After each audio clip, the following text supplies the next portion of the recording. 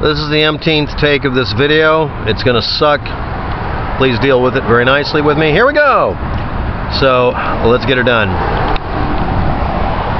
Someone left a comment on one of my videos, but they put it on a channel that mirrored it, so I didn't know about it. So the person on that channel forwarded it to me. So I'm doing this video on my channel because that's all I can do.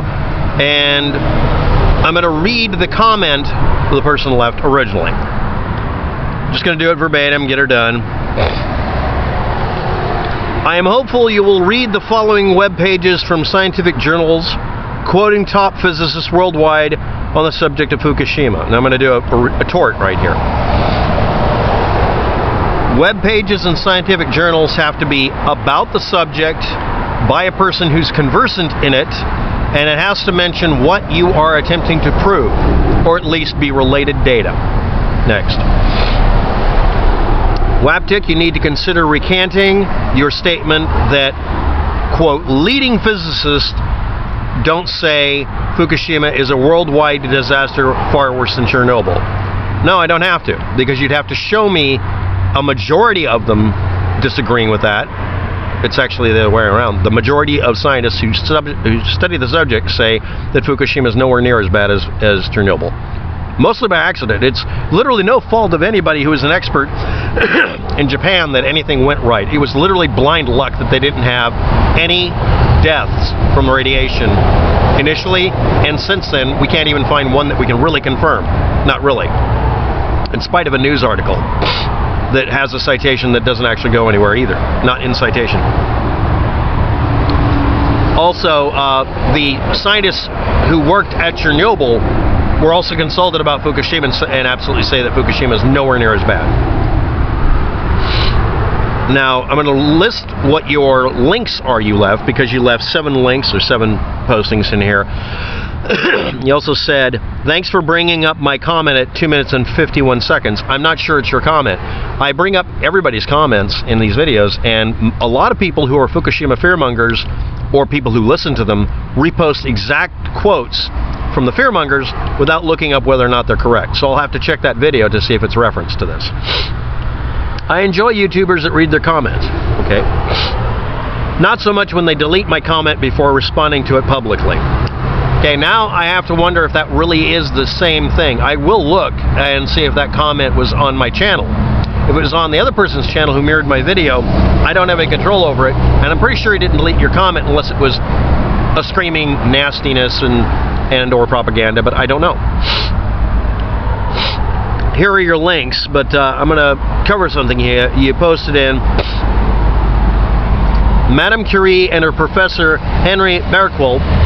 These names are used for measuring amounts of radiation. Uh, Curie had no idea how dangerous radiation was and was prone to carrying it in her lab pocket. You don't carry radiation in your pocket. You're talking about radium or radioactivity, radioactive materials. But okay. She eventually died from exposure. That's debatable. I will, of course, put below in the comment section, I mean, in the video here, what she actually died from. I'm going to read the assertions of another person who responded to your comment, and we'll see if those are accurate too, because we can all be wrong about something. So here are your citations. Physicist Miku, Michio Kaku on Fukushima. And then it links to something that really is a reference to an Inquisitr website, a, a website called The Inquisitr, bringing up something from a long time ago, most likely. It may be more recent, but Michio Kaku is not qualified to discuss nuclear power. That's it. And unless he is conversant in it and did research in nuclear power plant safety and dealing with hardcore uh, disasters, he has no relevant experience. He would have to cite sources or give reasonable explanations why he's coming to a conclusion for you to consider it an expert opinion, however, is wrong. Also, um, I know for a fact, if it's one I think it is, and I haven't checked yet, um, made a lot of comments in the early days of the Fukushima incident that were overtly, outright wrong. He didn't know anything any more than anybody else. Everybody was wrong initially. Uh, again, I'm going to repeat something that Fukushima fearmongers and unfortunately people who view their stuff don't like admitting. Everybody who died in the incident that day and subsequent days died from the earthquake and tsunami, and there are no deaths directly or even indirectly attributed to the nuclear plant. There just aren't. There's one claimed one, but it's claimed without a link that actually says it happened. It's a news story that doesn't have citation. and it says, oh, just look it up on this webpage, and it's not there, and it never was. The website doesn't have that kind of announcement. And I found every announcement I could and translated it.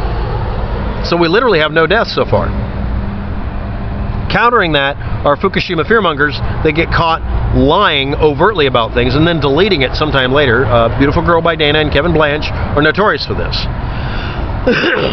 Kevin Blanch got cancer from the joint compound he used for doing drywall, and Beautiful Girl by Dana won't admit that the assertion that yellow cake in a Dixie cup won't kill anybody in a room. Just don't inhale it. I mean, literally, these people say things that are simply not true and easily confirmed is not true. None of you call them on this, but I'm not sure if you're actually an advocate of that.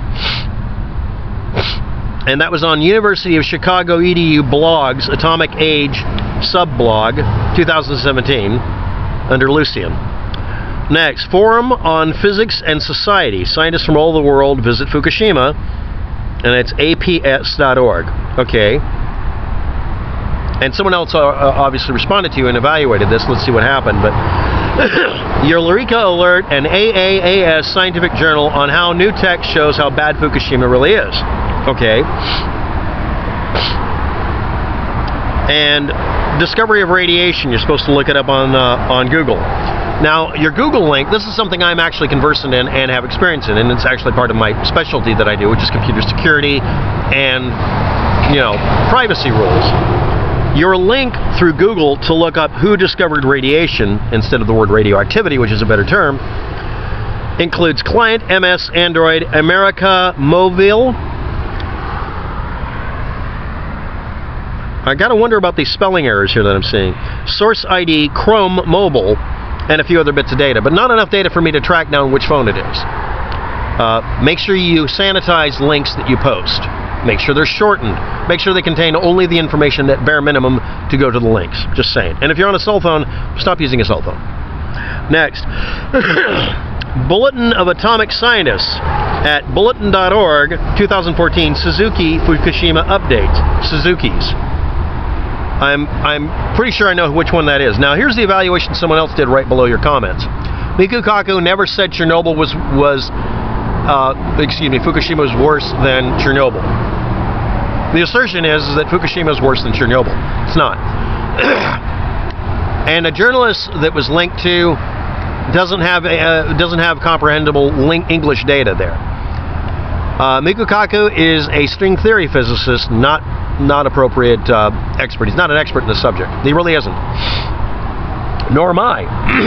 I cite my sources that support my, my assertions. I also cite the contradicting ones because people are shocked by that. I post in my links what people say proves me wrong, mostly because it does a damn good job showing that I'm been proven right because of the following statement.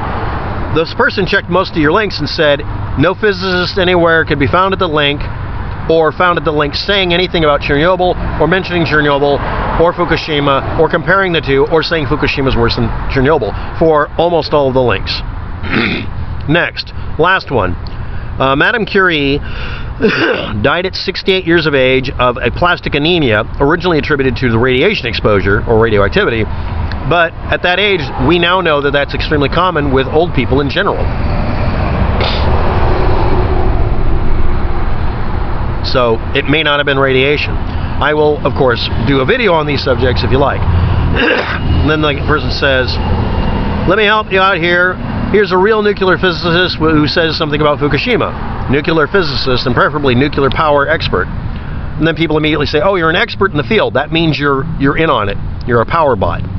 Anybody who has relevant course experience, uh, uh, work experience, research experience on a subject that doesn't agree with you is a shill. They're paid off by the industry that you're talking about. Whether it be for vaccinations, cell phones, anybody who knows what they're talking about is in on it because they disagree with you. Now, I'm not saying that about the person posting this. I'm just saying that this is the standard modus operandi of people who want to debunk facts they can't, so they just lie about them. But I will look into these, and if any of them show any value or merit, I will list them. Uh, I've been waiting for not a majority of scientists, but somebody competent in the area to say something that shows actually that Fukushima had more of a negative effect on this world than uh, Chernobyl. The problem with it is I have relatives and friends, and I have colleagues. There were I had colleagues at one time uh, who were responsible for collecting a lot of data. There are people on YouTube who went to Fukushima and Chernobyl and compared them apples to apples because they were there X number of years after Chernobyl and could go in a circle around it and help measure it. Because uh, I don't know if you know this, but Some of those YouTubers are actually scientists who worked at Chernobyl and dealt with it and, are, and were alive at the time and posted videos showing that and then went to Fukushima immediately afterwards to see the worst case scenario, which is when you measure it right afterwards and one year later. Just measure it. What is the long lasting effects? Where is the downwind of it? Where is the fallout? All of them universally agree that Fukushima is nowhere near as bad as Chernobyl, period, full stop. The next thing is everybody claiming it's worse goes into hyperbole, hyperbole mode, screaming that the entire Pacific Ocean is dead and everybody on my west coast where I'm sitting is dead, and it has to be because yellow cake kills everybody in a room, even though it doesn't. And they argue with actual physicists and actual engineers who build and repair or tear apart nuclear power plants. I'm in a town that had a nuclear power plant that was decommissioned and removed. There are literally thousands of people in this town. I can just put an ad up, I did actually, asking, what is your opinion of Three Mile Island at one time? I'm, I'm sorry. Also, you do know Japan is where Hiroshima and Nagasaki are, right? We have an ass ton of data on this. Nothing is being hidden because you can't stop somebody from rolling down the road, parking for a few minutes, and doing a radiation reading by sticking the equipment in the base of the car. You can't stop stealth scientists. You can't stop citizen scientists from photographing crap. How are you going to hide this? The whole point is, if you could hide it, it didn't get out of the area. If you can't hide it, it's going to be findable out in the ocean and whatever. People went nuts trying to make sure that they were safe and found negative results. This isn't getting anywhere, or if it got somewhere, it sank to the bottom of the ocean because it's heavier materials. Uh, there was a wave of the stuff that went over everywhere on the planet, just like Chernobyl did, including the United States for a couple of days, and then it was gone. It was out of the air and in the ground. Still dangerous, but it was incredibly thinned out. And over the ocean and in it, the ocean thinned it out. Chernobyl had a much larger amount of material released, and the rating it's given, even though it's the same rating as Fukushima, as the type of and danger level, this is a either or thing, 1 to 10 scale. It's rated as being six times as bad, which means they need to use a different scale, how much actual effect it has on the environment, or people, like animals and plants. You can go visit the area around Fukushima today with equipment and test it. The guy whose channel you commented on is actually runs another channel where he made an entire video series where he just went up and down the west coast to show whether there was radiation why you can get a radiation reading when you want to and you can't get it if you just generally check everywhere you have to check everywhere not just the places that give you the radiation reading you want to find he was honest none of the fearmongers are and I hope you don't get in an argument with him because he has facts to back it up because he collected his own data. Did you? Uh, Thunderfoot was going to go around with a gamma ray spectrometer to look for specific isotope signatures on the west coast of the United States. I haven't checked yet. I don't think he did it. I don't think he was able to. But somebody got off their dead butt and tried to help you. And these other people walk around saying, ah, oh, they're calling you a rebel. Or, or making picture-in-picture -picture videos where they lie to you and they're the ones you listen to because they say what you want to hear. And I want to point out something. Because of that link you left that tells me everything except your browser name or whatever, what you were looking at is what's called a search bubble or ego bubble as Google calls it. You have to make it to where it doesn't track you. Otherwise, it'll always show you what you want to see because it's there to please you, not educate you. And that's one of the big problems now with the internet. It's not supposed to challenge you. It's to placate you. Welcome to the Matrix. Thanks for watching. Have a good day. Good luck